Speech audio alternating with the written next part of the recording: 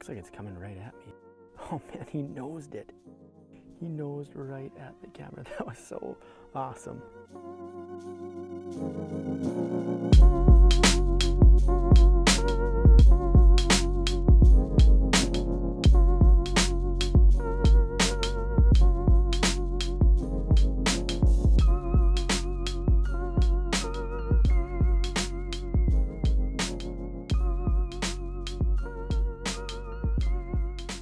Today we are out here chasing some burbot. It's an absolutely gorgeous March day.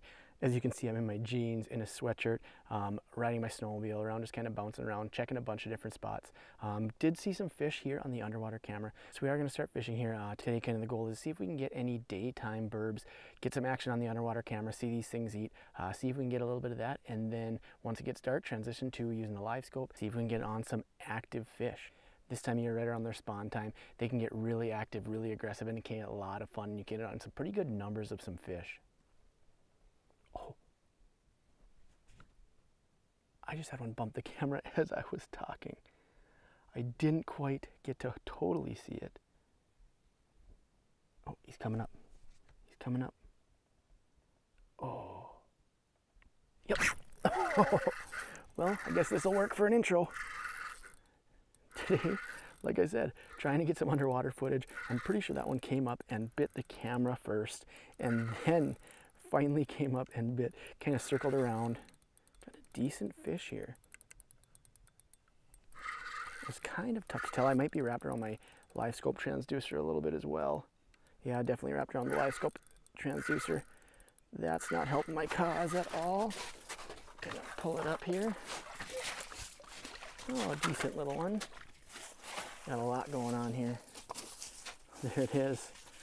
And that, oh, these buggers are so tough to hold.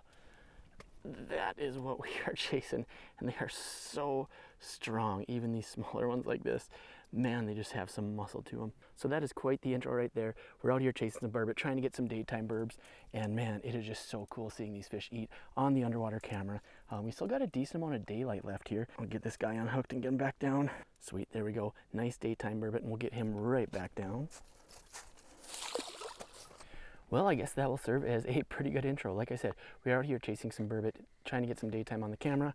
That one came up, bit the camera, I'm pretty sure first. I didn't see the whole thing. Kind of as I turned, I was looking and I saw the tail and I saw the camera move. Then it kind of circled back around, eventually came back around and bit and got to see the whole thing on the camera. That is just so cool. I don't care how many times I see fish eat on the camera, especially with these burbot, because a lot of times they're a nighttime bite. You know, during closer to their spawn time, they definitely will get to that more daytime bite. And I am by no means an expert in burbot. Uh, some of my buddies are, and they've given me a lot of great information, giving me some insight into these fish. So what a sweet start to the night, and the best thing is it should only get better from here. There's one coming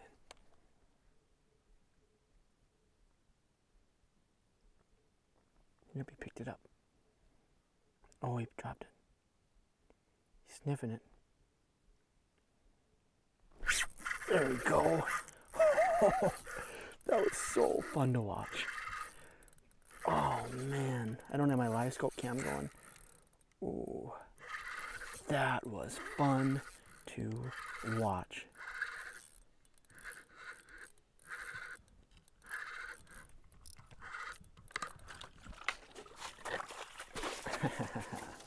Not a big guy, but man, was that so much fun to watch on the camera. Man, these things, these things are just so strong. Even these smaller ones like this, they just have such cool colors. That was so much fun. Get that guy back down. Hoping we can get a few more before it gets dark here uh, so that way I can see some more eats on the underwater camera. That was so cool. Kind of knows it, knows it, knows it. Finally, I could see that it eats, set the hook. I love seeing fish underwater on the underwater camera. There's just not much cooler than that. Since it's so nice out, I'm actually just running around on my sled right now. I have a tote strapped to the old Indy Trail and it works out perfect because I can have my auger rack on back, I can drill a hole, pop my transducer right in. I have my live scope right in this tote, it protects it, but it also works where I can fish right out of it. I can have my underwater camera set up over here and it works out great as I can have a base camp and I can move still fairly easily, even while having all of this technology going on, uh, makes me still fairly mobile. As it gets closer to dark, I might set up camp here for the night, but until then, we're just gonna roll around on the snowmobile, see what we can find. I do have the live scope cam running now, but it's gonna be really hard to see anything um, because I am such on such a steep break that there's a lot of that dead zone. I'll kind of show, oh, never mind, I have a fish coming in. Oh, come on. Doesn't look very big. See if he'll turn, come back around. So there you can see me on bottom. You can't see anything on the live scope. Probably couldn't even see that fish on the live scope. Um, and as I pull up, you can kind of start to see it there. And I get up a little farther. About when I lose it on the camera, I can see it um, on the live scope. So that works out actually kind of nicely because I can always have eyes on that fish. It is kind of fun to see both side to side on the comparison, but with this steep of a break in that dead zone, I just don't think we're going to have it happen. I'll probably go back and look at that footage and realize that I just pulled it right away from him. So what I've been doing is just kind of run around looking for areas throughout the lake that have really steep breaks, especially when they're adjacent to deep water. Like I said, I'm not an expert pout fisherman by any means, uh, but just from some of the things that I've watched and just from some of the people that I've talked to, some of my friends that are really good pout fishermen, um, that's what it kind of seems. They really like these steep breaks. So I'm cruising around the lake, whether it's mid-lake structure or shoreline structure, when there's these steep breaks, really close contour lines, that's where I'm kind of bouncing around from hole to hole, checking a bunch of different areas, seeing if we're seeing any fish on the live scope and on the camera. A lot of times I will drop the camera down and just see what the bottom looks like. A lot of times looking for some sand, maybe some rock. Anytime there's some good stuff like that right on these steep breaks, um, usually can hold a lot of fish. Ooh, there's one coming in. I'm just gonna let it sit. That seemed to be what triggered him last time. Just sitting nosing it. There he picks it up. I don't think he all the way has it. Uh, he didn't have it. I think he just had the minnows. But maybe he got a taste now. What is he doing? He's just sitting there. Mm, it looked like he just maybe had the minnows in his mouth. I'm having a tough time seeing. He's just sitting there right now. What the heck? I don't want to jig it too much and spook him. I'm kind of hoping that he'll notice that he has that taste. He'll suck it in a little bit more. I'm not sure what he's doing. Oh, doesn't even have it in his mouth. He's just sitting right next to it. What is it doing? Don't want to bump them and spook them because I'm right next to them right now. Oh, there's another one coming in behind. Ooh, that one maybe looks a little bigger. Oh, that one looked a little bigger. And I think there's a third one coming in. We've got 30 burbs on here right now. Come on. Ooh, that one looks a little bit longer. Come on. Oh, man.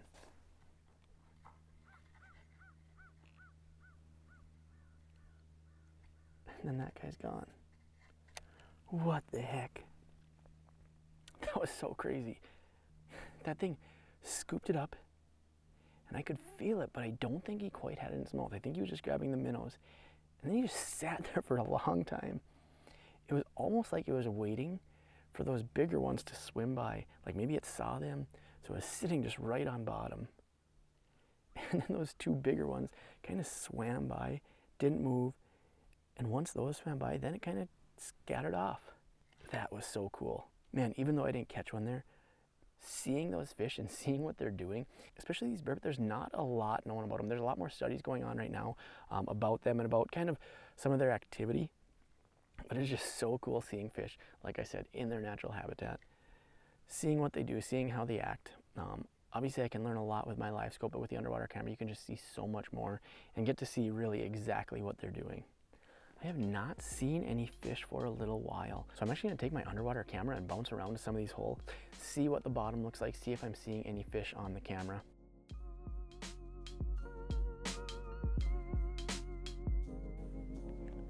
Looks like it's coming right at me. Oh man, he nosed it. He nosed right at the camera. That was so awesome.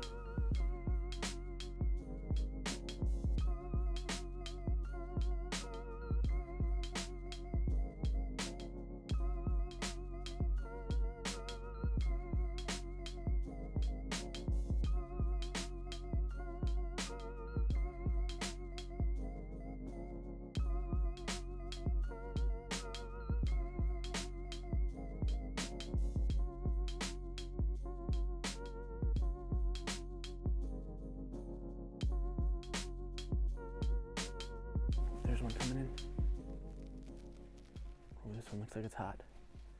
coming in hot. Oh, that thing just choked it.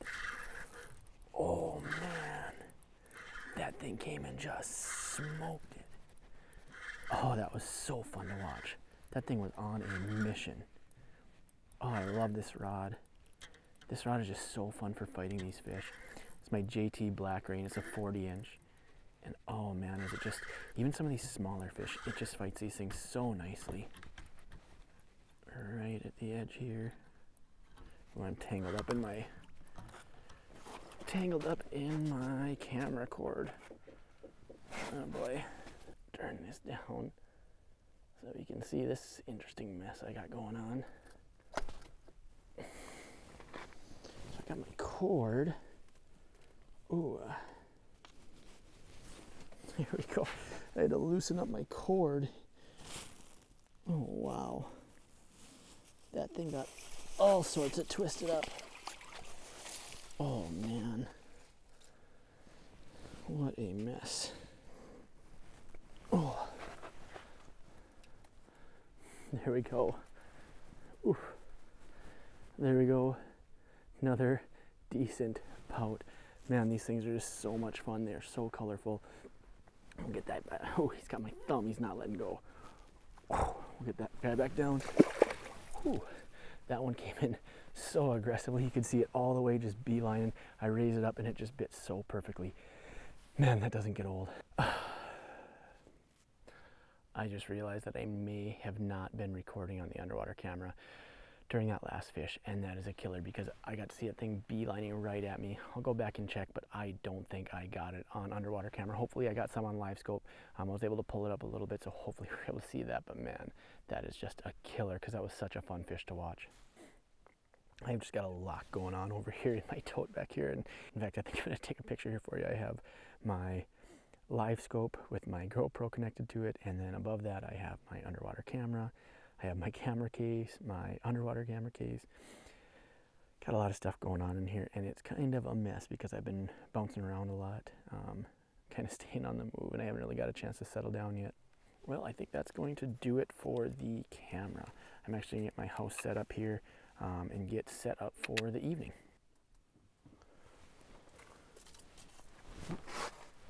I have something coming in. Oh, he's on me. Come on. He's circling. Oh, he's going back down. Oh, I'm not even set up yet. There's one. Oh, it's coming in pretty good. Oh. Came right up to it.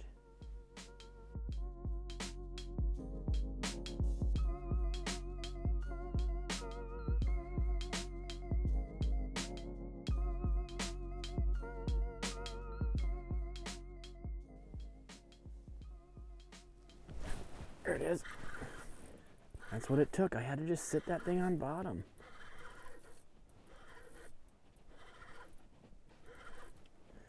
And it's not surprising knowing these pout. Man, I was sure hoping I was going to be able to get a little bit of some live scope footage from these guys. Oh, let's see if I can wrangle this guy. Yeah, not getting into the size that we would like. But that one I just had to sit on bottom. Decent little fish here. Get that guy back down.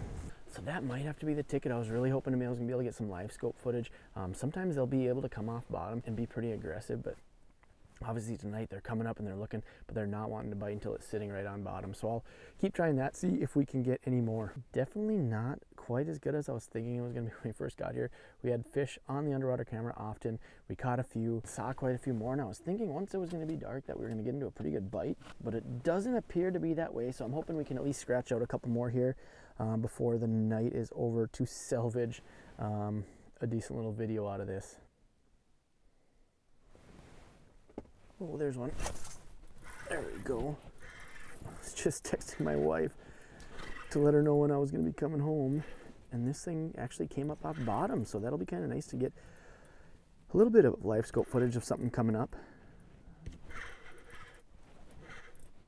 There we go, coming up the hole. That's actually fought a little bit bigger than what it is. Again, none of these have been super big, but man, are they just so colorful. Such a neat fish. That one came up off bottom, finally bit. So I'm hoping, who knows, maybe we will get a decent little late bite here. Give you a good look at that one before I send it back down. There we go. It's so important to glow these things up. Here, I'll turn off the light so you can see it glowed up. So important. I mean, even with a little bit of the live scope light, you can see how much these things glow. That's that big nasty spoon. It's such a good spoon to have in the dark. It glows a lot right away and that even lingers. Not a lot, um, but there's definitely still a little bit of shine. A lot of times I'll even put something on a tip up and have it out for a few hours. And when I come and pick it up at the end, I actually see a little bit of glow left on it. See something coming in from the left. I'm gonna drop it right down to bottom. What I'll do is I'll drop it right down to bottom and just keep it right there with on kind of a tight line so I can still feel that bite I could feel it almost nose it for a second, but definitely didn't bite. Oh, feeling something bite. I think it has it and it's swimming with it. Here we go. Again, didn't see it because it was right on bottom. But I felt something bite and then it started swimming kind of up with it, so I didn't even feel it. I don't think it's a very big one. Whoa! Not a very big one, but holy, is it a feisty one. I saw something swimming down. I don't know if something chased it up, but I haven't let this thing back down yet. And I saw, so just a little guy here, just a little dink, but that thing was fired up. Again, I was bouncing it on bottom. Get that guy back down. Again, I was bouncing it on bottom. I thought I felt something bite. You know, sometimes it'll get stuck in the mud and it'll feel like a little extra weight. Sure enough, a little bit later, I could feel it and I could see my line. I have it kind of dark in here, so it's a little bit tough to see. But I could actually kind of see my line going up. So I kind of took it and was swimming up with it. So I knew it was on there, set the hook, and there it was. Ooh, something rolling right on bottom. I'm just going to continue to let it sit. It's coming from the left. I think it bit. There it is. Yeah, definitely needing to let it sit on bottom. Again, doesn't feel like a big one. I kind of just pulled it up to draw some fish into the area. Sometimes I'll go up a little bit higher. Oh boy, oh boy. All these things are just so amped up right now. Definitely not the size that we're looking for. The last few have been pretty small but man it is still so fun to catch even some of these smaller ones like that again so i was pulling up um, about probably three feet off bottom sometimes i'll lift that up kind of jig it around see if there's any fish in the area that'll see that since it's a little bit higher up but 10 feet off i saw this little roll on the bottom so i knew it was a fish kind of coming in tight to bottom so i just let it sit on bottom and eventually sure enough came in and bit not a big one, but still so fun to catch these things. Even these smaller ones have so much fight in them. I really need to get going soon. Um, but there's been just enough action to kind of keep me interested. Every time I think about packing up or I start packing up, I see a fish, I catch a fish, but it is a weeknight and I will be having kindergartners coming into my gym tomorrow. So I better start picking up. Again, a lot of fun, not a lot of size. So fun to be able to sneak out like this on a weeknight, um, get a decent night bite in. So awesome seeing that underwater footage. There's not much cooler in my mind than seeing those fish on the underwater camera, seeing them, like I said, in their natural habitat, seeing how they react to different baits, and then sticking it out here after dark and picking up a few more. So not an outstanding night, but still a lot of fun. Even these smaller ones put up such an awesome fight. So not sure if this will be my last ice fishing video of the year, but it's looking pretty likely the way ice conditions are deteriorating. So not sure what will be up next for me, but stay tuned and thanks for watching.